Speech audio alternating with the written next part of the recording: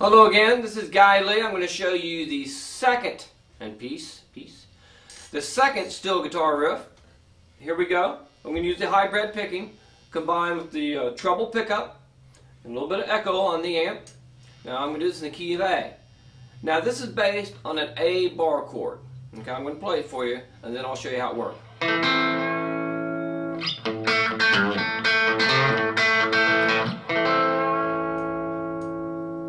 Okay, now what we're doing, we're taking an A bar chord, and we're going to use the fifth and the first, and then we take our index finger and we're going over to the C note, which is a flatted third. We bend down on the C note, which is the flatted third, until we reach the third, like. And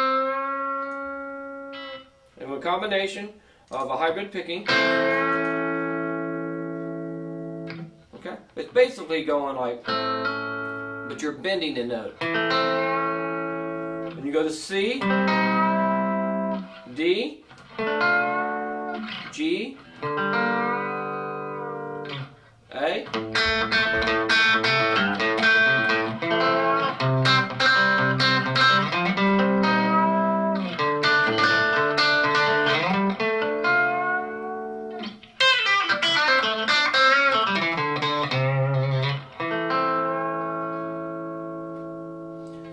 One last cool thing you can do with it is using the uh, harmonics.